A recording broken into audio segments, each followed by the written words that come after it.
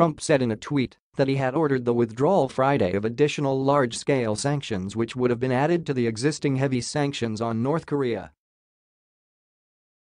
Neither the Treasury Department nor the Justice Department announced new sanctions Friday, leading to confusion at Trump's tweeted claim to the contrary.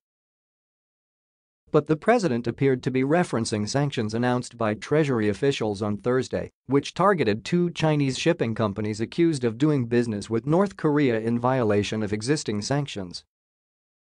President Trump likes Chairman Kim, and he doesn't think these sanctions will be necessary, White House Press Secretary Sarah Sanders said in a statement after Trump's tweet. The president's decision comes after he abruptly left his second summit meeting with North Korean leader Kim Jong-un in Hanoi, Vietnam last month. Trump said at the time that Kim had asked for all U.S. sanctions on his country to be removed in exchange for retiring North Korea's main nuclear weapons site and that he had found the request unacceptable.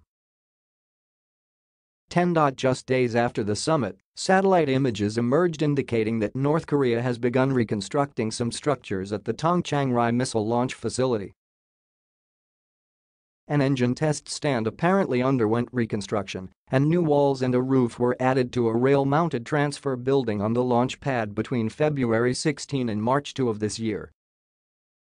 Trump said after the images emerged that he would be would be very very disappointed in Chairman Kim if the North Korean regime was indeed secretly ramping up its nuclear program